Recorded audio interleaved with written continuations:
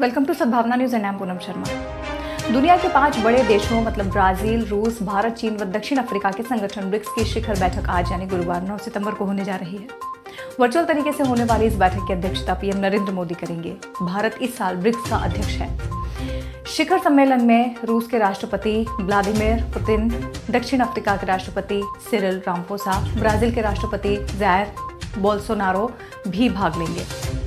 भारत ने बहुपक्षीय व्यवस्था में सुधार, आतंकवाद विरोधी कदम, सतत विकास लक्ष्य हासिल करने के लिए डिजिटल प्रौद्योगिक उपकरणों का इस्तेमाल करने, लोगों के बीच परस्पर संचार को बढ़ाने समेत प्राथमिकता वाले चार क्षेत्रों पर ज़ोर दिया है।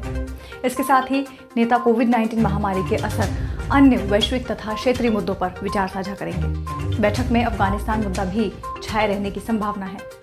भारत की कोशिश होगी कि शिखर बैठक के बाद जारी होने वाले संयुक्त बयान में भी पाकिस्तान समर्थित आतंकी संगठन लश्कर तैयबा जैश ए मोहम्मद के बारे में स्पष्ट तौर पर ज़िक्र हो। विदेश मंत्रालय की तरफ़ से बताया गया है कि ये दूसरा मौका है जब पीएम मोदी ब्रिक्स शिखर बैठक की अध्यक्षता करेंगे।